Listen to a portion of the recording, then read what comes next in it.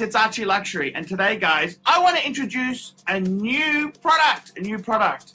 It's called Ulo. Now, what is Ulo? It's a digital business cards social platform that helps consumers and businesses get connected. It helps promote products and services all within a single professional network. Now, Ulo was designed and built by the best. It's built by ex Pebble engineers who pioneered in the smartwatch market. And um, they raise funds via a Kickstarter project.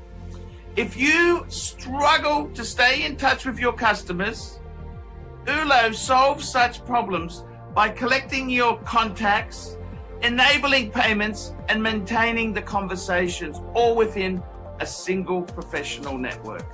Guys, click on the QR code, take a look yourself. Oolo, Oolo, that's right, guys. Ulo, check it out. I'm Archie Luxury. I'm going to give it a try myself. Hi guys, it's Archie Luxury on the Paul Pluta channel. Today I'm doing paid review 23 QA19 quick wristwatch check. I'm wearing my bluesy. Okay, let's jump straight in. This is a long paid review for Jay. G'day, Archie Luxury.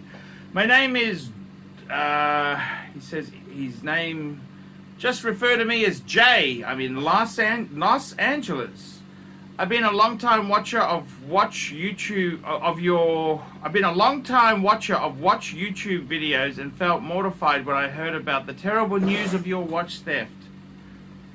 Those who invade our homes for personal gain deserve to spend the rest of, of their lives in prison, but our societies don't respond with appropriate punishment for these scumbags. I'm normally very private about my watches and I don't like to attract unneeded attention, but I would love to support your channel and I've sent you 100 US for a long paid watch review. I'd appreciate your review uh, and your thoughts. My watches, like me, tend to be less flashy and reflect my love of things mechanical, and often that means something outside the mainstream. I love a good watch movement, mechanical complexity, superb craftsmanship, and execution, and also want watches that will maintain value, so that naturally has led me to Patek and Lange as my favorite watch brands. If I am to collect more, I am going to favor those, more of those as well as Vacheron. Some of my other watches are in my collection because I got them at fantastic prices or, or more out of whimsy. Here's the collection. Let's begin. So we're starting this collection review. We've got an Omega Seamaster Steel 34 mil, 1950s automatic bumper movement. This is the oldest watch in the collection and has classic good looks that will never go out of style. Now what I'm going to do is, is just give a bit of a comment on each of these here. Yes, look, it's a classic watch. I don't know if you need this watch because you've got such amazing pieces, but hey, if you like it, why not? Number two, Patek 5205G, white gold, blue gradient dial, 40 mil, aftermarket sailcloth strap to give it a more youthful look. I think this is just the most gorgeous modern Patek combining sector dial symmetry and natural and practical annual calendar functionality with wear everyday automatic simplicity. And I've got to tell you, I've got to agree, this is one of the most beautiful modern annual calendars that Patek has out there. Uh, the sister watch to this, the 5905, which is the um, annual calendar chronograph, very similar. But in the same token, I think the 5205 is just gorgeous. Number three, we've got a Patek 5026 Platinum Calatrava Black Millennium Edition. It's 33 mil, small size. Normal size of this classical dress watch holds it back from greater collectability, but I think it's awesome and traditional and one of the cleanest dials of a Calatrava that Patek has released prior, uh, or hence making it very collect collection worthy. It's got the beautiful 240 PS micro rotor movement, which I know you are familiar with because it's the base caliber of many, for many, a fine Patek complication, such as the World Time, uh, that you once had. May those thieves get their justice someday. Yes, I gotta say, this is just a gorgeous little platinum piece. 33 mil does make it a little bit smaller in today's standard, but it's still a classic, beautiful dress watch. Then he's got a Lange, Lange 1, 101.030, white gold, distinct grey dial, 38.5 mil. Uh, this was my first Lange watch, and I just wanted anything Lange of any discreet offering and was lucky to land this one. As luck would have it, the grey dial is a highly sought after colour as it is sort of the brand's colour feature on all their boutiques and boxes and signs. I was either going to get this or the Glashütte original. I don't regret my decision. I've got to tell you, I love 38.5 mil because it's such a the way the case and that is done. It actually wears bigger, so I think the sizing is really good, really good. Then we've got a Lange 1815 chronograph 414.026 white gold boutique edition blue silver dial 39.5 mils Lange makes the most beautiful chronograph movement of all time and so I wanted it in the slimmest possible option the 1815 chrono with the most beautiful and hardest to get dial of them all I love it and could click the pushes all the time for fun this is the most beautiful watch movement I've ever owned and might be till the very end. I've got to tell you, the 1815 chronograph. I had a friend, Ronnie from Vintage Watch Co. He actually had a Lange, was it white? I think it was, do you have a rose? I think he had a rose one. Absolutely stunning. His business partner had a white gold one. The pushes, it's actually this, this like a hot knife through butter. Amazing, amazing. Then he's got a Lange number six, Lange 1 Daymatic, uh, 320.025. Platinum 39.5 mil, silver dial. I wasn't getting enough wear of my manual wind Lange 1, so I thought maybe by adding a beautiful automatic Lange 1 to the collection would increase my wrist time. It has uh, somewhat, and I do love the repurposing of the power reserve needle to a day of the week indicator.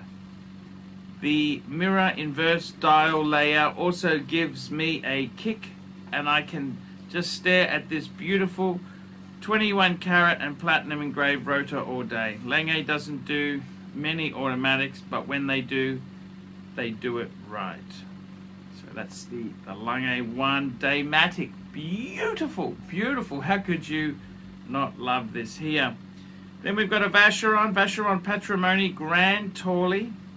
85180 rose gold 40 mil manual uh, 8.5 mil thin but looks even thinner. I needed a proper rose gold dress watch for those fancy occasions and you can't get much finer than this traditional example of the fine Genevan watchmaker. Um, modernized only by its modern diameter. This is pure class and it makes me feel like class 2 whenever I wear it with a suit and brown press Oxford brown dress Oxfords. Patrimony Grand Torley, beautiful, beautiful, beautiful, beautiful watch. Absolutely beautiful.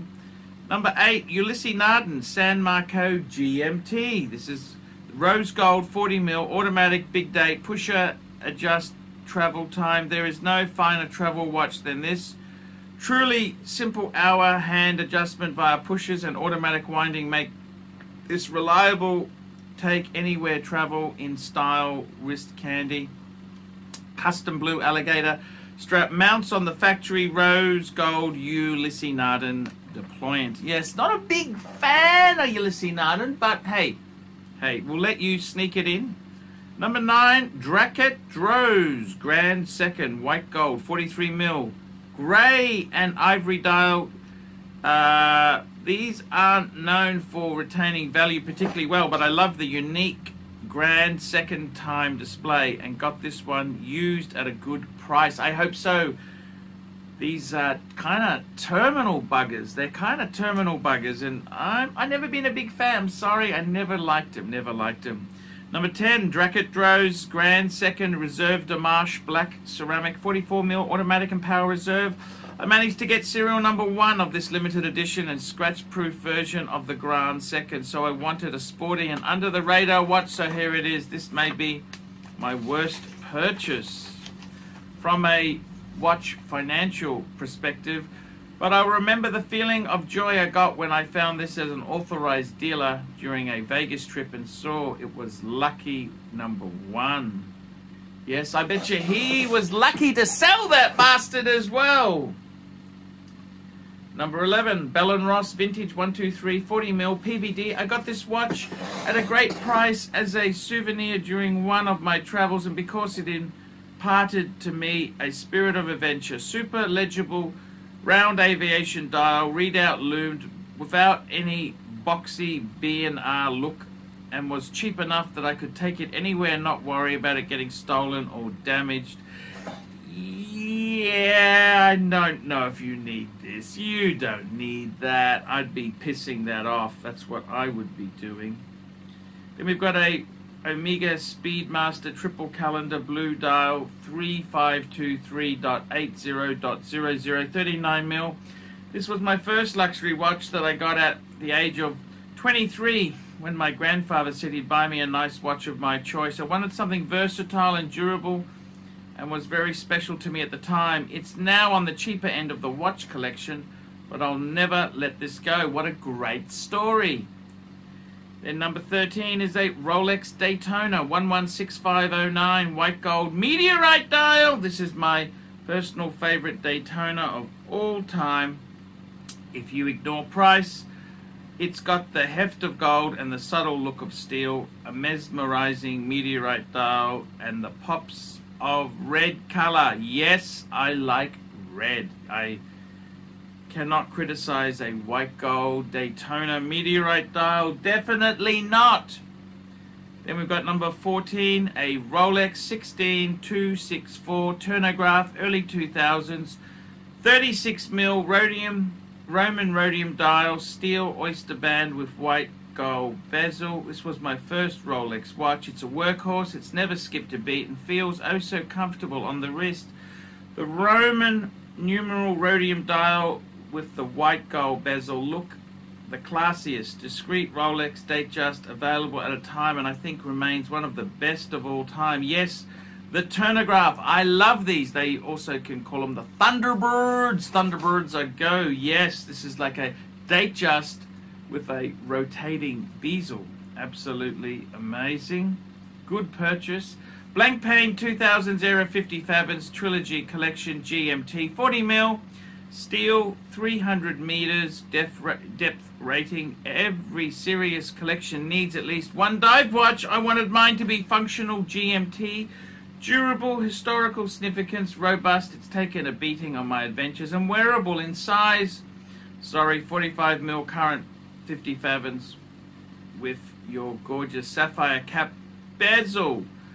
This bezel has a quality click to it and I love turning it. Loom is fantastic also since it's a 50 fathom. So there you go guys, the Blancpain. I don't mind it. Not in love. I like to have my divers simple, just simple divers, but hey, that's okay. 16 Gerald Genta Retro Solo Steel Carbon uh, Fiber dial. Jump hour retrograde minutes that look like a speedometer. This watch is fun and attracts attention from everyone for its avant-garde ways. 17, Omega Moon Swatch Uranus. There we go. Moon, sorry, I should say Moon Swatch Uranus. Well, it was cheap and rep I replaced the horrible factory Velcro with a white leather strap. 18, Moon Swatch Sun. Well, it was cheap and I replaced the horrible Velcro with a grey NATO strap with fake gold accents. 19, Casio Oceanus OCW T200S. Uh, it's a $400 watch. That's not even. Oh, well, oh, oh, oh, okay. Let's let's go. 41 mil green emerald dial, solar, radio control, Bluetooth, automatic time setting. This may just be the best all-round watch value. 100 meter water resistant, always displays the right time down to the second, easily time syncs during travel, recharges itself, is beautiful to look at, and is the best quality construction I've seen in a watch for near its $400 price point. It's seriously close to Grand Seiko in quality. Uh, the quality of the bracelet and the case, oh, seriously close to Grand Seiko in quality of the bracelet and case polishing. I don't know about that, please. And number 20, Grand Seiko SBGA 413, Shunbun Spring Cherry Blossom Dial, 40mm titanium spring drive movement. If I had to have only one Grand Seiko, would be the spring drive, and it would have to have a beautiful dial that looked like silver, meteorite, or pink cherry blossom, depending on the lighting. Viola, here it is. It wasn't a tough choice for me to make. Thanks, Paul, and I hope you have a great day and rebuild your collection in time. Okay, let's have a look what we would do with this collection. So let's go through these watches here. The vintage Omega 34 mil steel. Check. That's okay. That's okay. Patek double check. We love the 5205G. That's beautiful. The Patek 5026P, yes, give that a double tick. We like that. Lange 1, uh, the 38.5 mil, double check that. The Lange 1815, we're going to triple check that. That is a super duper watch. The Lang Lange 1 Daymatic, two ticks. Vacheron Patrimony, two ticks. Ulysses Nardin, uh, I'm going to put a question mark. Can you sell that off? Let's see if you can get rid of that. The Drac, Draket Droz, both of those, man, they got to go. They got to go. They got to go. They got to go. They got to go. The Bell and Ross, that's got to go. The Omega Speedmaster Triple Calendar, yes, one tick because it sent the story was good. Then we've got a white gold Daytona meteorite dial, yes, tick. Turnograph, tick. Blancpain, Tick, Gerald Gentra, Retro Solo. What the hell is this? Oh, he's got a Gerald. Did I read that? Did I? I think I might have missed that. Gerald Gentra, Retro Solo, Steel, oh, Carbonesque. Did I? I think I. Okay. Uh, uh, let's put a question mark on that. I'm not so keen on that. The Moon Swatch. God, no. There's Uranus and the Sun, no. The Casio, no. The Grand Seiko, a tick. So, let's have a look at your collection here. What would I do here? So, let's have a look here. I like the collection. I love, I think there's certain pieces you can get rid of. Pateks you keep. The Langes you keep. Ulysses Nardin, no. You've got some stuff that I would really get rid of. It doesn't do anything for your collection and I'd get a couple of Rolex. I'd get a couple Rolex, but that's my opinion. There, that's my opinion. I do like it. Uh, what would I add? You, you know what? Maybe you could add. No, I think you've got some beautiful pieces. I would just be be thinning a few things off. That's all I would do there. Nice collection. It's a nice collection. Um, some of these things just don't add up. You know, the Drac Droz, do you need that when you've got Lange and Pateks and Vacheron? No, I don't think so. I'll let you keep the Ulysses Nardin. We can save that. Call a friend. Uh, but I got to tell you, some of these lesser ones just piss them off. That's what I would be doing is pissing them off. Uh, the Bell and Ross, it can go the Gerald Gentra, piss it off. The Uranus, the Sun's Moon Swatch, get rid of it. The Casio, the Casio should never be in this. It's just a, it's just a cheap, it's just a beta watch. Okay, it doesn't belong. You've got Langes and Pateks. So, I really do love this collection. It's beautiful. Nice pieces. What would I add there? I'd maybe consider adding some Breguet you would need a Jaeger-LeCoultre Reverso or two. Yes, sir, you do. That's what I would be adding. And uh, I got to tell you, those Pateks and the Langes, my God, what an amazing, what an amazing collection. I really love it. So Breguet, I would think, you know, the, you know, the traditional, the Breguets with that exposed movement. That's the sort of beautiful stuff I would be throwing. So There's a few suggestions there. I hope you're not offended by them. I'm just trying to give you my honest, earnest opinion. Jay, so well done. Beautiful. Got a superb collection. Absolutely superb. 20 piece. Just get rid of some of the lesser ones. And congratulations. Well done on such a beautiful collection. I am Archie Luxury. This has been a paid review. Please, guys, I can't survive on Google Ads alone. I need more paid reviews. 50 US dollars for a review. Details in the description below. And I will see you in the next one. See you later. Hi guys, it's Archie Luxury. Guys, I want to talk to you about David SW. David SW, David SW. Guys, if you are in America, if you are looking for a Rolex watch of your dreams, in fact, if you're looking for a contemporary modern wristwatch, I strongly advise you to look at David SW. Guys, don't play the dealer games. Don't bring in chocolates or Krispy Kremes for your dealer hoping to get a Rolex at retail. It's futile. Please, guys, save your dignity. Keep some pride. Go to David SW. I would highly recommend David SW, David SW. If you're in America and you're looking for a watch, go to David SW, David SW, David SW. Hey guys, Archie Luxury on the YouTube sensation, the Paul Pluta channel. Guys, I need you to help me out, guys. I can't survive on Google Ads alone. I need you to request a paid review. 50 US dollars. Look down in the description. 50 US dollars. I will, I will review your collection. I'll tell you what I think of it and I'll give you some pointers. The other thing is, guys, you can sponsor me on Patreon. Patreon allows you to pay a couple bucks a month, a dollar, two dollars, five dollars, whatever you want. And it keeps me going on YouTube because, guys, I'm in a niche. Nobody can make money out of the views I get. The views are crap because it's a small specialized area and I don't talk about garbage for the sake of views. Guys, sponsor me on Patreon, look down below, and I will see you in the next one.